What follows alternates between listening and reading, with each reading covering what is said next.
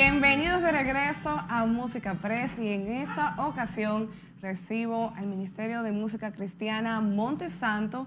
Ellos son de Venezuela, pero ya llevan un tiempito residiendo en nuestra tierra. Bienvenidos. Gracias. Hola, hola, hola a todos. Gracias también por esta increíble invitación. Para nosotros es un placer poder compartir nuestra música con todos ustedes. Gracias por aceptarla y qué bueno que siguen llevando ese mensaje de amor, de paz, de esperanza, sobre todo en estos tiempos tan difíciles, tan complejos todavía. Así es. Y bueno, a mí me habló de ustedes un grupo también cristiano eh, de, de, Venezuela que residen aquí también y me presentó su música y desde que los escuché dije, tiene que estar en el programa especial de Música Press que hacemos todos los meses, dedicamos un programa completo para agrupaciones cristianas. Wow. Amén. No, para nosotros es increíble poder también conectar con toda la, todos los ministerios de acá de la República Dominicana. Es hermoso ver cómo un país lleno de tanta cultura, de tanta fe, de tanta buena música, también te abraza y recibe también lo que tú tienes para dar. Entonces para nosotros es de verdad un placer Totalmente. estar acá. ¿Qué tiempo ya tenían en Venezuela formados? Empezamos aproximadamente en el 2017, que fue cuando lanzamos nuestro primer sencillo. Eh, bueno, ya serían como cinco años aproximadamente.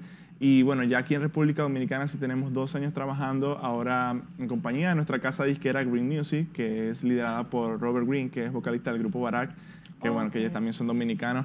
Y la verdad es que ha sido una experiencia, como decía Yao, eh, súper gratificante. Eh, el tiempo que trabajamos en Venezuela fue glorioso, fue hermoso y, y, pudimos hacer muchas cosas, pero ah, como decía Yao, aquí en República, en República Dominicana eh, el recibimiento ha sido extraordinario. Sí, ha sido rápida la acogida. sí. sí, ha sido rápida. Creo que cuando llegamos a un lugar nuevo tenemos que como, como comenzar a vivir, a, a acostumbrarnos a tantas sí. cosas, pero para nosotros fue muy rápido y fue muy hermoso sentirnos también en sí. casa, aunque estamos lejos de casa, nos sentimos sí. en casa. Ya nosotros, como dicen los dominicanos, estamos aplatanadísimo aplatanadísimo ya. aplatanadísimo. ¿Han, ¿Han tenido la oportunidad de, de, de, en el tiempo que tienen aquí, de ir a las provincias? ¿Han tenido conciertos? Porque prácticamente les agarró el cambio con la pandemia. Sí, total. Entre los que se adaptaban, sí, sí conocían sí, gente y no, todo, al, todo al al llegar, mismo tiempo. al llegar empezamos, realmente tuvimos la oportunidad de visitar varias provincias, fuimos a Santiago, fuimos Higüey. a Higüey, eh, La Romana también creo. Romana. Fuimos a diferentes lugares, pero obviamente entró la pandemia, fue un proceso digamos, para trabajar lo, la, la, música nueva, lo interno, lo, lo que Dios nos estaba hablando en todo ese proceso. Y bueno, ya que la cosa ha disminuido un poco, ha sido eh, súper gratificante poder ahora compartir lo nuevo de Montesanto. Y recientemente iniciamos nuestro tour aquí en República Dominicana con, con este tema de Ramo el Perfume y, y, bueno, ya abrimos nuestra agenda para poder visitar, ya llevamos varias eh, visitas, fuimos a Higüey, también fuimos a San Francisco, de Macorís. Macorís. Aquí en Santo Domingo también. Sí. Y bueno, a, a, apartando lo que hemos hecho con el concierto, también hemos conocido y recorrido la tierra de República Dominicana, que es hermosa, nos encanta, nos, nos encanta. Nos encanta los paisajes, eh, la comida. La comida. Su es... gente creo que es una de las cosas más hermosas que nosotros podemos ver. Ustedes se adaptan muy bien aquí. Con sí. todos los que he hablado, con todos los eh, venezolanos que he hablado, se, se han adaptado muy rápido sí, y sí. qué bueno. ¿Por qué surge el nombre de Montesanto? El nombre de Montesanto surge cuando por medio de mi esposo, que es el líder y productor de la banda, dice, chicos, llegó el momento, vamos a constituirnos, vamos a comenzar a darle orden a cada cosa. Y allí en ese momento fue cuando Dios nos dijo, busquen la palabra. Y buscamos en la palabra de Dios y específicamente el monte santo de Dios en el Antiguo Testamento. Eran esos lugares en donde el hombre tenía encuentros sobrenaturales con el Señor. Y eso era lo que particularmente vivíamos en medio de la adoración, en medio de la alabanza un encuentro sobrenatural con Dios y el Señor nos dijo, yo quiero que ustedes tengan ese nombre porque es algo que identifica okay.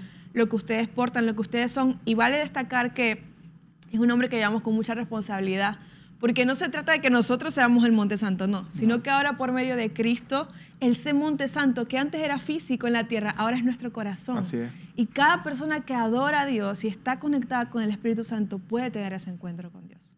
¿Ha sido sí. difícil el camino? Creo que para, en realidad, para todo ser humano siempre no, no, se va a librar de pruebas, ¿no? Yo creo que todos estamos expuestos a, a, que cuando hay un sueño, y sobre todo un sueño de Dios en nuestro corazón, nos vamos a ver enfrentando eh, cosas difíciles. De hecho, la, la, misma palabra de Dios nos dice, en el mundo tendrán, tendrán aflicción, más confíen que yo he vencido al, el mundo. Y creo que para Montesanto ha sido un proceso de confiar, de confiar a ciegas. Bueno, como te mencionaba, el hecho de dejar nuestro país a venir a, trabajar a trabajar fue un acto de fe y, y, fue difícil eh, al principio, entró la pandemia y también se hizo un poco más difícil, pero eso de alguna forma moldea a nosotros la confianza en Dios.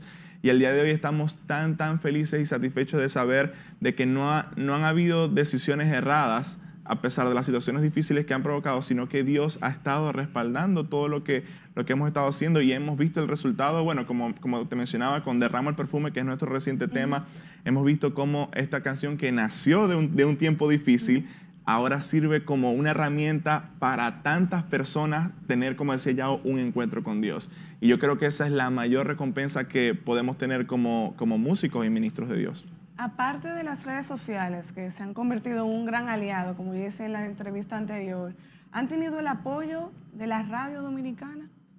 Sí, bueno, casualmente con el tema de Ramo del Perfume ha sido algo de verdad increíble. Y no solamente en la radio también dominicana, sino en cada iglesia y congregación que han acogido este tema como suyo. Algo que ha pasado particularmente con Derramo el Perfume es que la gente ha tomado el tema como suyo.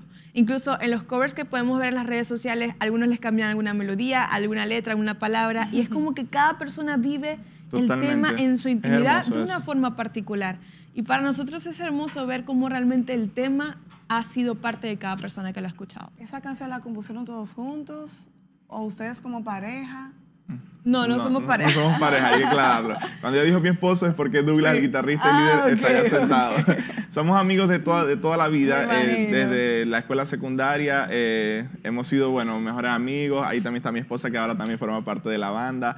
Y bueno, respondiendo a tu pregunta, eh, tuve la oportunidad de componerla. Eh, yo principalmente y luego se la compartí a los chicos en el estudio y bueno, de ahí todos le sumamos en cuanto a lo musical, fue una experiencia muy muy linda, eh, a pesar de que quizás la letra la compuse yo, creo que fue la letra ideal para el proceso que vivíamos en ese momento porque fue casualmente llegando aquí al país y esta canción habla del lugar secreto con Dios, de ese lugar donde a puerta cerrada está solo Dios y tú, donde nadie te está viendo. Y creo que eso sucedió con todo en la pandemia. Tuvimos que cerrar la habitación, o sea, estar a solas. Totalmente. Y, creo que fue muy propicio para todos nosotros tener esta canción en ese tiempo donde a, solas pudimos adorar a Dios. Qué bien. Fue, fue sorpresivo para ustedes esta aceptación que ha tenido el, su más reciente sencillo. ¿Se lo esperaban? Porque ha sido el más, veo que ha sido el, más, el que ha sido más, aceptado por, sí. sí. ha sido una sorpresa. Creo que como hijos de Dios nunca podemos perder la expectativa de lo que pueda pasar, ¿no? Y la fe en cada cosa que hacemos, en cada paso que damos. Siempre desde el inicio, desde nuestro primer tema, hemos tenido esa expectativa de saber que Dios va a usar cada cosa que hacemos. Pero con este tema, desde que hicimos la prueba de sonido en el momento que lo ensayamos, en la grabación en vivo, pasó algo sobrenatural, algo que no vamos a olvidar jamás, y es que cayó realmente una presencia y una unción de Dios en ese lugar, que particularmente dijimos, este tema, este tema tiene algo muy, muy especial de Dios, y creemos que algo sobrenatural va a pasar en la gente que lo escuche. Entonces, en parte sí teníamos mucha fe de que realmente el tema la gente lo iba a abrazar, pero siempre hemos tenido fe en todo lo que hacemos y sabiendo de que sea poco, sea mucho, realmente vale la pena porque un alma que lo escuche es suficiente para nosotros. Así es. Ya cambiaron un corazón. Así es. Eso es suficiente. Gracias, Montesanto, por compartir con nosotros. Vamos a seguir con ustedes, pero en el segundo bloque vamos a escuchar aquí su música, las dos canciones, las dos últimas canciones que han estado promocionando. Derrama el perfume. Derramo el perfume. Y cantemos. Y cantamos. Hacemos una breve pausa y cuando retornemos más aquí de Monte Santo.